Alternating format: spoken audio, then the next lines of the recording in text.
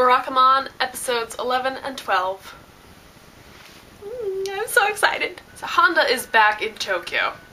And even though this is his element, he does look out of place because we're so used to him being on the secluded island. He goes to see Kawafuji and his uh, calligraphy, which has arrived, the, the one of Star, where it's um, white on black as opposed to the other way around. And he really needs some positive feedback on it, but Kawafuji's like, hmm, it's a nice size. he doesn't say anything else about it. So the, the director who's going to show up is the same director that um, Handa punched in the face which prompted him to go on this little excursion. He's terrified, not only because he punched this guy in the face, but also because he, he can't handle rejection right now.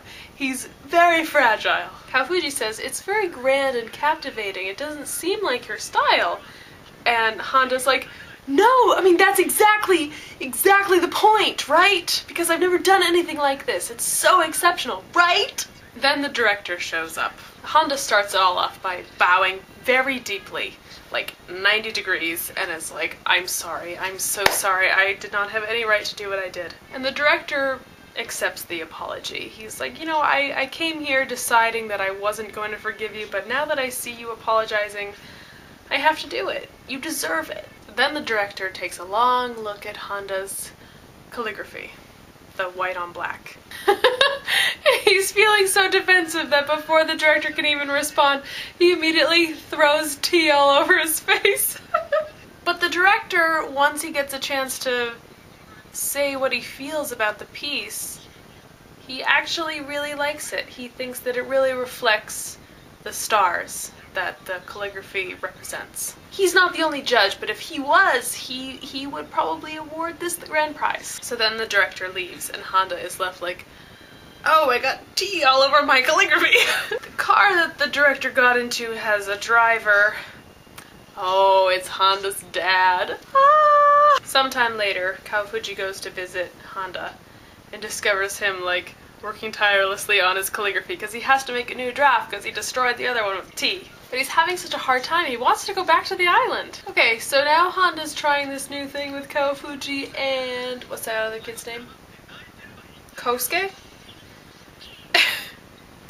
And for some reason it involves tying them up. And I guess mom walks in and she's like, Oh, I've walked in on something I didn't want to see. He's trying to recreate his experiences on the island by getting his friends to act like people from the island. Handa reflects on how this is his big break, his rebirth into the calligraphy world. Oh, and then he gets a phone call from the island. Like, literally everyone is there calling him. So they're all like, we're thinking about you, but why didn't you say goodbye? Then they're kind of like, you're gonna come back, right? After you're finished doing whatever you're doing, you're gonna come back to the island, right? So he doesn't address that question, all the kids run off and he's just kind of like, aww. so he goes through his things and he finds the um, list of names for the temple that someone on the island asked him to rewrite. And I guess rewriting the names is very inspirational to him.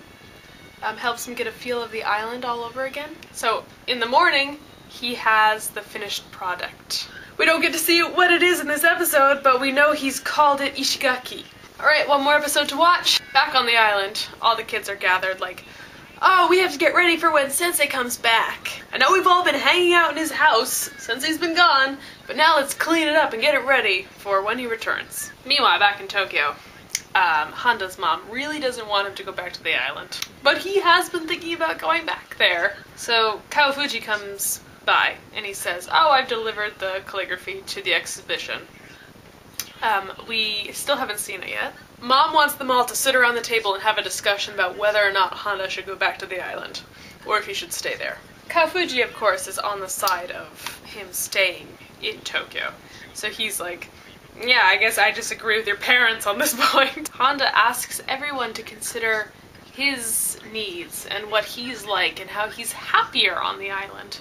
Weirdly, Dad then switches sides onto Handa's side. I guess Dad used to live on the same island too. He was good friends with the village chief, which is Hiroshi's dad. Then they look through all these old pictures from when Dad went to the island. And Mom is left as the only one on the opposite side of the table, like, ah, no one's paying attention to me. So Dad looks right at his son and is like, you know, no one's forcing you to go, no one's forcing you to stay. It's your own decision.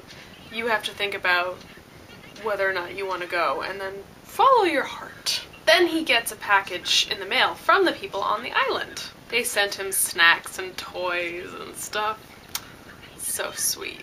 And um, Tama got gold prize in the calligraphy contest, and Miwa got silver prize. And seeing that makes mom change her mind and is like, you know what?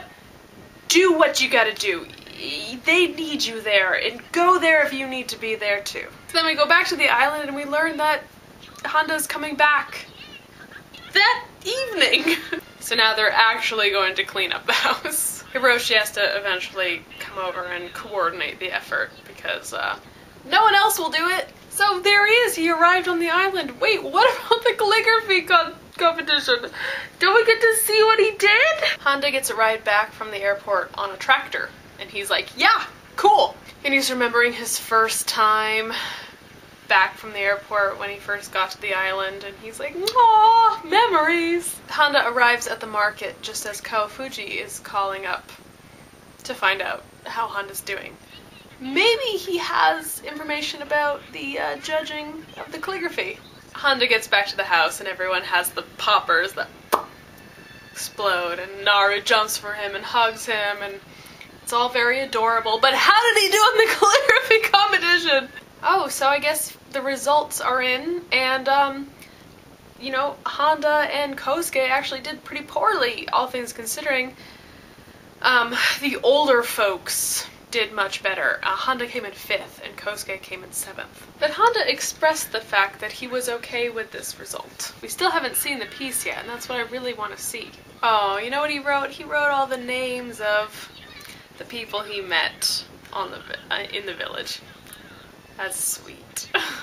so we did get to see it. It was very adorable. I'm very happy with what he chose to do. So with a show like this, it's all about that swell of happiness you get at the end of the series, the good feelings that you experience as a result of the finale. So yeah, I mean like sappy, but I'm okay with that. I I had a great time. I loved this show.